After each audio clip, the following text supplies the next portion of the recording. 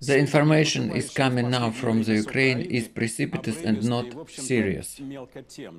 Observers say Kiev has frozen and dreams about Biden that he will not leave them.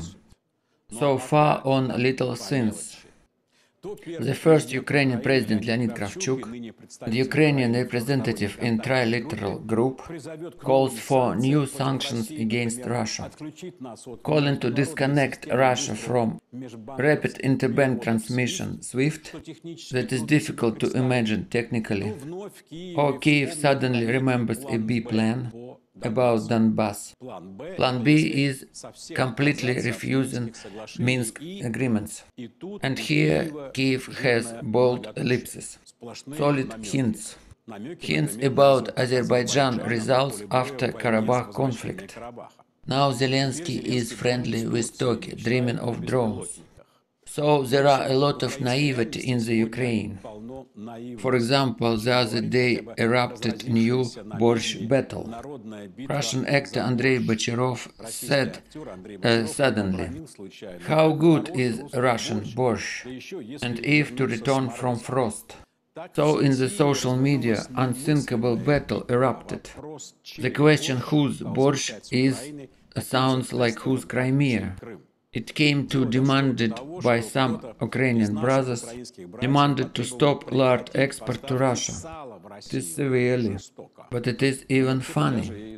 Russia completely satisfies itself with pork and lard, and even it exports it.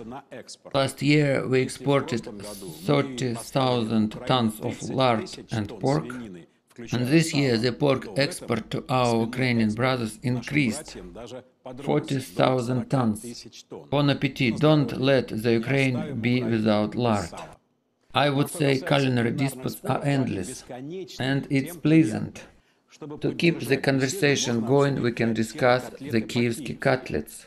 This woman, Pelageya Ignatieva, culinary mentor in Patriotic Women Imperator Society, in St. Petersburg says, such cutlets from chicken meat uh, twisted with butter inside, with a protruding bone with a tag, was called Novomikhailskaya.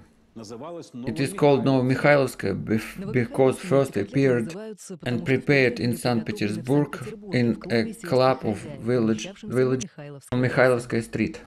It was written 100 years ago, 1909, in a classic work by Ignatieva called Practically Basis of Culinary Culture, 12 editions.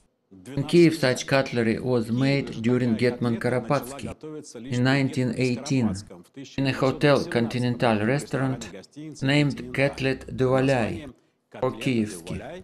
So borscht and Kievsky cutlet are our common cultural property. What to dispute here? And the Ukraine so has argued that the country has divided. Who did it make happy?